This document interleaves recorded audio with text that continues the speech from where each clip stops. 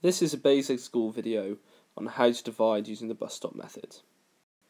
When asked what dividing is, Google will tell you that it is a way to separate or to separate into parts. I like to think of it as a way of counting. We're used to counting in ones, starting at 0, 1, 2, 3, 4, 5, and so on. Dividing is a way of counting, but in a different number system. For instance, if we counted in twos, it goes 0, 2, 4, 6, 8, 10, and so on. If I was asked the question, what is 10 divided by 2, I'd think of counting in twos and thinking how many jumps it would take. So 1, 2, 3, 4, and 5. So 10 divided by 2 is 5. Now this idea is absolutely fine when we're using numbers that are quite easy to work with, but take that idea further. What if I was to ask you something like, what is 16 divided by 3? Well, I'd be counting in threes. So 0, 3, 6, 9, 12, 15, 18. Now 16 doesn't fit on there. If I was to count in threes, I know it would be 1, 2, 3, 4, 5, jumps. But if I was to jump one more, then I would go above 16. I go to 18. So what we do is we say that it is 5 full jumps from here, and then I count the difference that is left. So I got to 15, so I had 5 with 1 remaining. If I was to relate that question to something that you might see in everyday life, if you went to the supermarket and these cans of Coke were on sale for £3 each, you want to buy as many as you possibly can and you have £16 in your wallet. And they cost £3 each, so we're counting in threes. So that means I can buy one pack, two packs, three packs, four packs, five packs, but I cannot afford to buy six packs. If I went to the till with six packs and said, here we go, they'd ring it up as £18. And I'd say, well, I only have £16. And they'd say, well, unfortunately, you cannot buy six packs. You can buy five packs because you can afford five packs, but you will have one pound change. And when you have another two pounds, come back and you can buy the sixth pack. So what we're doing here is £16 divided by 3, and then we're finding that the answer is 5 packs of cans of Coke that we can buy, but you'd also have one remainder. Going further into the theory of this, I want to consider the question, what is 414 divided by 3? Well, that means I'm going to be counting the 3, so I've already written that scale out there. And this is when I use this method called the bus stop. I would rewrite this question so that the divider, 3, comes outside the bus stop, and inside the bus stop goes 414. What I'm doing now is I'm saying how many threes go into 4. So I'm counting on my scale from 0 to 3, that's one jump. Now clearly, if I jump on one more, if I go on to 6, that is too much. I can never go too far. So it only goes in once, but there is one remainder, and this one remainder comes with the next digit by here. So now, this number here is no longer 1, it is 11. Now I'm looking at how many 3's go into 11.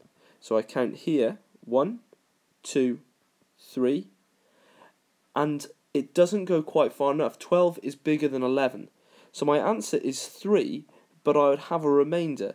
I got to 9 on my scale, but I was supposed to get to 11. So I'd look at the difference from 9 and 11, and that answer is 2. So that becomes my remainder, which goes on to the next number.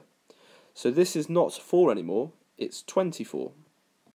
Finally, I'd see how many 3's go into 24, and I count the jumps there. 1, 2, 3, 4, 5, 6, 7, 8. So the answer there is 8. So my final answer is 138. Here is another question. This time I'm asking to divide by 5. Now because I'm asking to divide by 5, I need to start counting 5's. We always start at 0, and we're counting 5, so 0, 5, 10, 15, 20, 25, 30, all the way up to 45 and 50. You only need to know up to 10 times 10 to use this method also. Next you would write the divisor, 5, outside the bus stop, so 5 would come by here, and you would draw your bus stop, and inside here goes 4, 2, 7, 5.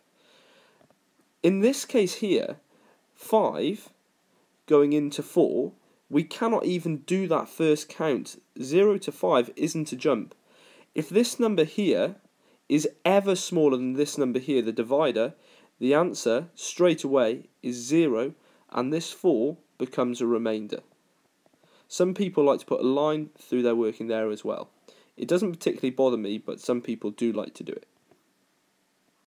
Now I'm looking at how many 5s go into 42. So I count on my scale. 1, 2, 3, 4, 5, 6, 7, 8. 8 and then not the ninth one. So my answer is 8 and my remainder from 40, which was this number here, to 42 is a remainder, again, of 2. Now I'd like to know how many 5s go into 27. So again, back to the scale, 1, 2, 3, 4, 5, 5 and a bit, so my answer would be 5, and I was on 25 and I had to get to 27. So again, the remainder is 2. Finally, I need to know how many 5s go into 25 and this time it does fit perfectly. 1, 2, 3, 4 and 5. So my answer is 5. So the answer to 4,275 divided by 5 is 855. This 0 in front of the numbers here is not needed to be said. Have a go at this question here. I'll show you the method in a moment. Here is the solution. Pause the video if you'd like to have a further look. The good thing about the bus stop method is even if there's a remainder at the end, you can still carry on with the bus stop and you can still find out what the full solution should be. Take this question here, 37 divided by 4. Well, first of all, we should be counting in fours. Now, when you start doing this question, you'll see, first of all, that there's no jump between 4 going into 3. As we said before, if this number is less than this number, then this answer is going to be 0. So now that 3 becomes a remainder, and now we're looking for where it goes into 37. And it's 1, 2, 3, 4, 5, 6, 7, 8, 9 jumps. 9 and a bit jumps, so we're going to write down 9 but now we know we need to count from 36 up to 37, which is a remainder of 1. Now our students know that these are in column order. So this here is a 10 and this is a unit. So we would encourage to ask them and say, well, what comes after the unit? And they should be able to tell us that there's a decimal point that comes next. And then after the decimal point would be a tenth. And there's no number there at the moment, but after a decimal point, we know there's always a zero. We just don't bother to write it. So we extend our bus stop as such. You must make sure that this decimal point floats up to above where the answer is as well, in line with the decimal point below.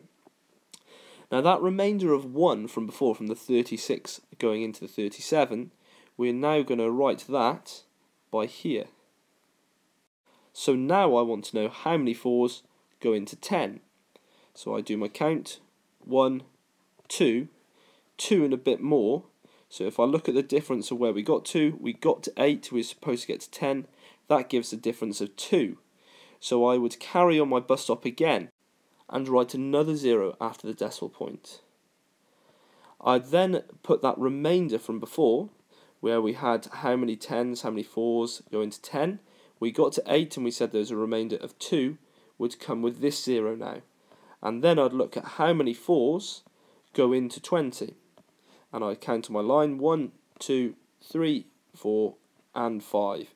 So my answer there is 5, and I can finish now because my answer, my question was how many 4s go into 20, and it's finished completely there.